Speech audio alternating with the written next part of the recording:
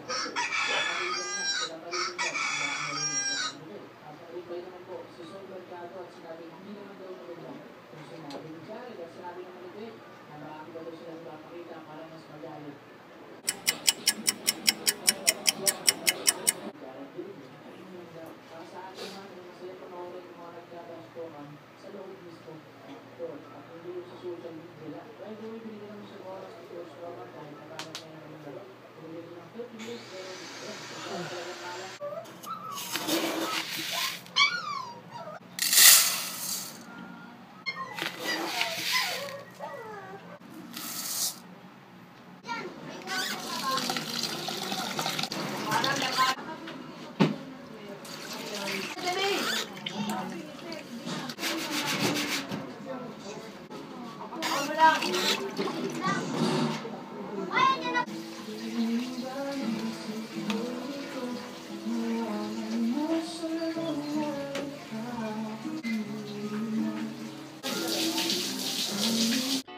pair of pants later.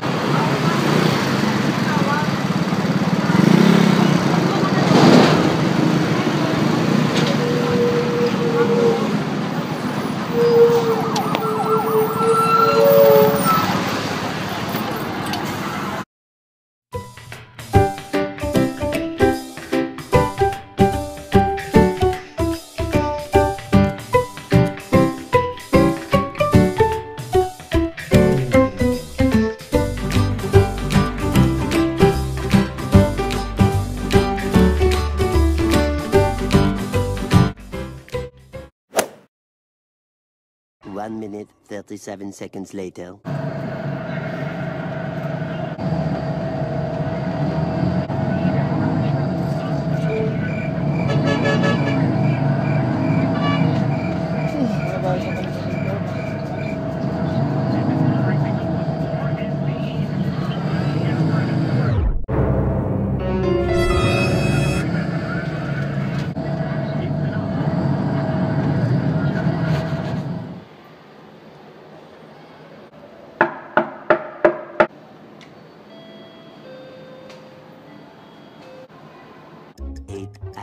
Later.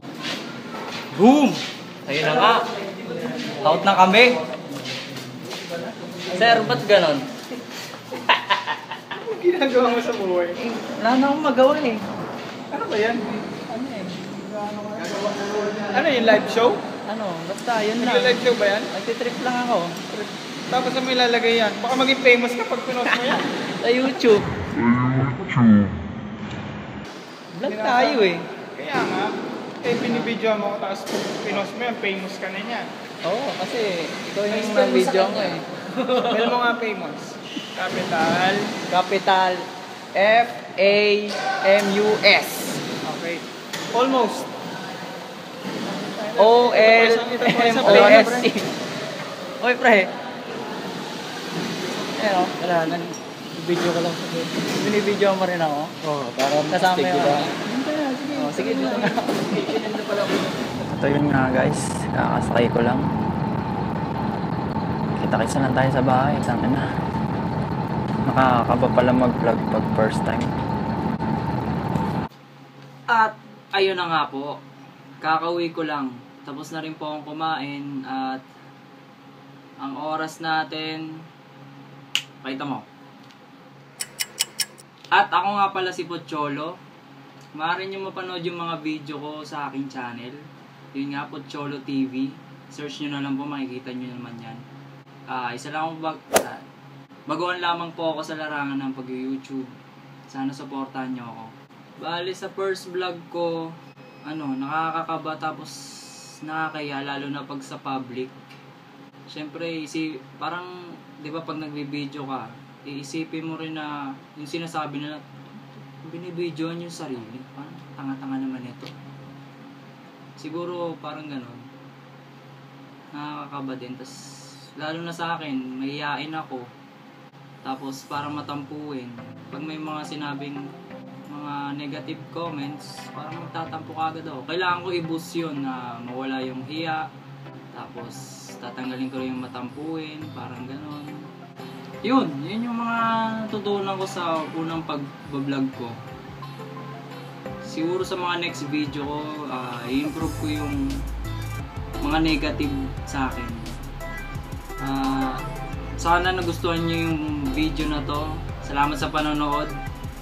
Like, comment, and subscribe lang po. Click mo na rin yung bell para lagi ka updated sa mga notification pag may bagong upload na.